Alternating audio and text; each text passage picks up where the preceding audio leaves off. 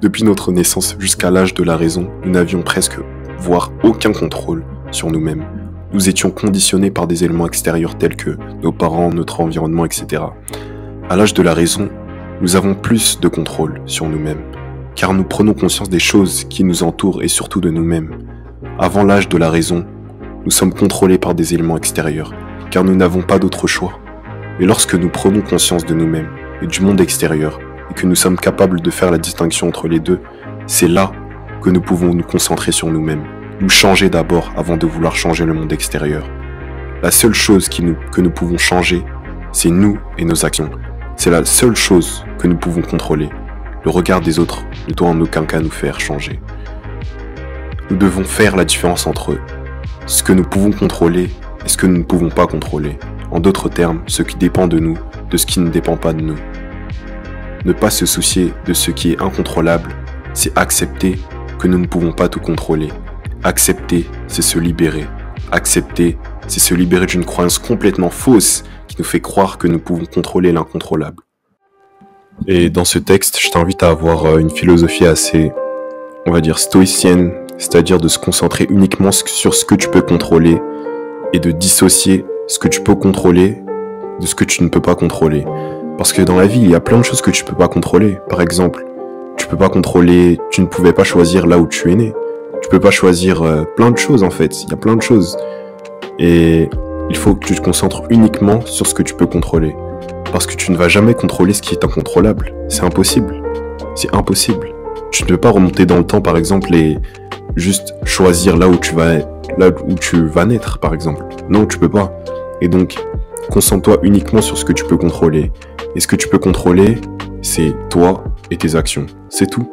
C'est tout. Il y a rien d'autre. Il y a rien d'autre. C'est toi et tes actions. C'est la seule chose que tu peux contrôler.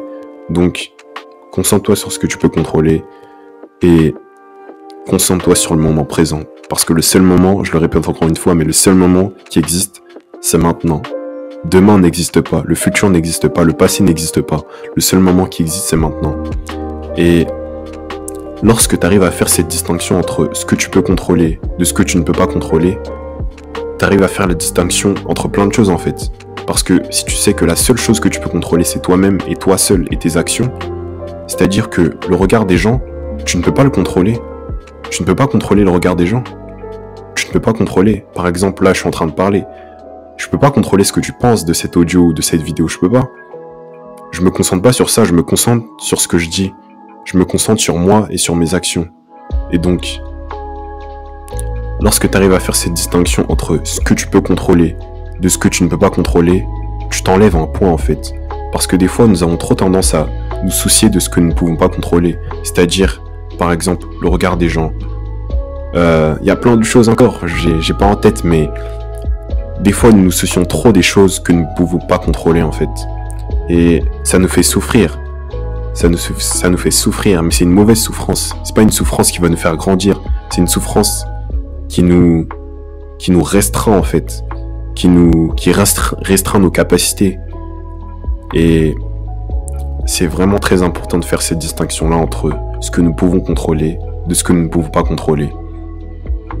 Et vraiment de se concentrer uniquement sur ce que nous pouvons contrôler, c'est-à-dire nous et nos actions, nous et ce que nous faisons chaque jour. Chaque matin, lorsque nous nous réveillons, nous avons le pouvoir de choisir. Nous choisissons en permanence ce que nous faisons. Donc, concentre-toi uniquement sur ce que tu peux changer, sur ce que tu peux contrôler. Et libère-toi de tout ce que tu ne peux pas contrôler. Et c'est-à-dire le regard des gens, par exemple. Tu ne peux pas contrôler le regard des gens. Tu ne peux pas.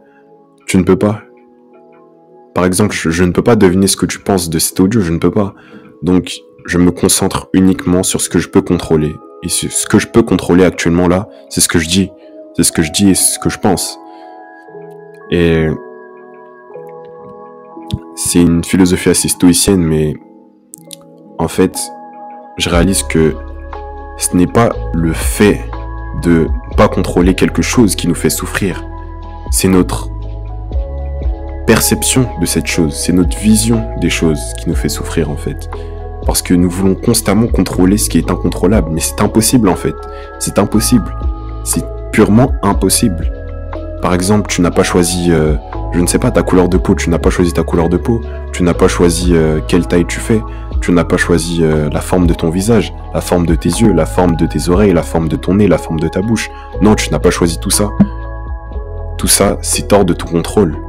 C'est complètement hors de ton contrôle. Donc te concentre pas sur ça. Concentre-toi uniquement sur ce que tu peux contrôler. Et ce que tu peux contrôler en tant qu'être humain, en tant que personne, c'est toi et tes actions. C'est tout. Concentre-toi uniquement sur ça. Et oublie le reste. Oublie le reste. Le reste ne va pas changer. Tu n'as aucun contrôle sur le reste. Et il faut savoir que... Il faut que tu saches que tu n'as aussi aucun contrôle sur les gens extérieurs en général. Parce que tu ne peux pas contrôler les autres. Tu ne peux pas me contrôler, par exemple. C'est impossible. Tu ne peux pas savoir à l'avance ce que je vais dire. Tu, ne peux pas lire dans mes pensées. C'est impossible. Et si tu y arrives, c'est, je sais pas, tu fais de la magie ou je ne sais pas, tu fais du vaudou, mais tu peux pas contrôler ce que je vais dire. Il y a que moi seul qui peut contrôler ce que je vais dire. Et si tu as cette croyance que tu peux contrôler les autres, que tu peux rendre les autres heureux, c'est faux, c'est complètement faux. Parce que le bonheur ne se trouve, ne se trouve pas à l'extérieur, le bonheur se trouve à l'intérieur. Parce que si tu crois que tu vas trouver le bonheur chez les autres, c'est complètement faux. Le bonheur, il est en toi le bonheur. Le bonheur est en toi. Le bonheur ne vient pas des autres. Le bonheur vient de toi.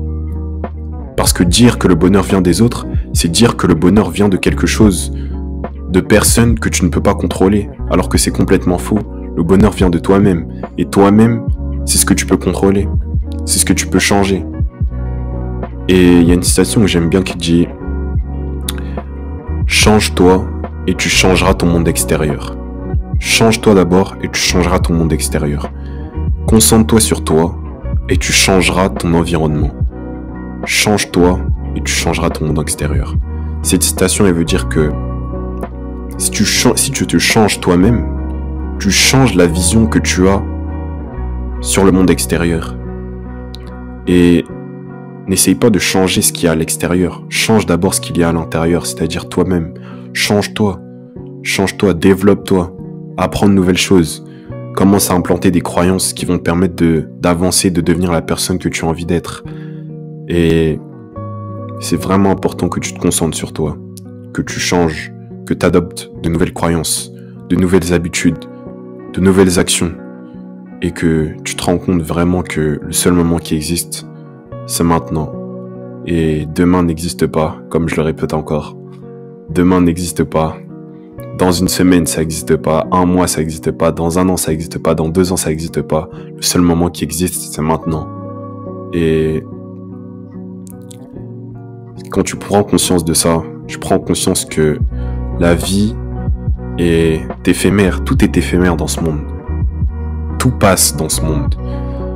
Tout passe, tout est éphémère. Rien ne dure. Rien ne dure jamais.